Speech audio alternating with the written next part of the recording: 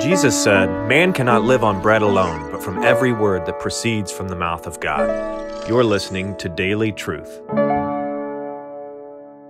Tyrants are always nice. That pastor's tone and the way that he smiles in the pulpit and the gentle, effeminate tone of his voice is not an indicator of whether or not he's a tyrant. The question is in the objective sense, not how he says it, but what does he say? So when pastors said, you can come to church, but you must wear a mask. Here's again just a general rule of thumb.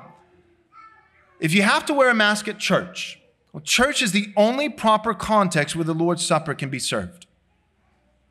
So what you are saying is that to come to the table of the Lord and to dine with him, you must have faith plus, right there, you stop.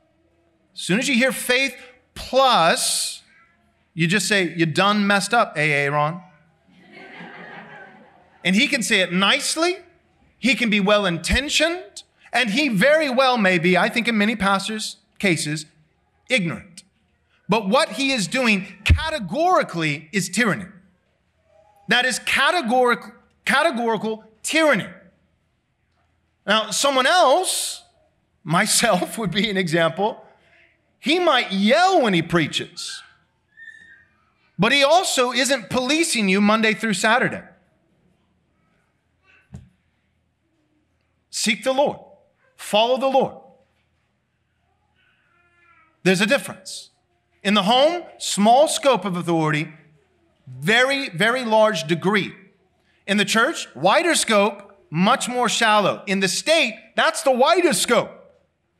And your authority is so shallow, it would be like like microscopic. Like you'd have like the naked human eye wouldn't even be able to perceive its depth. That's how little authority the civil sphere has.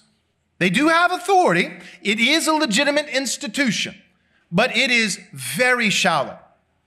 You are not going around telling people what to put in their body.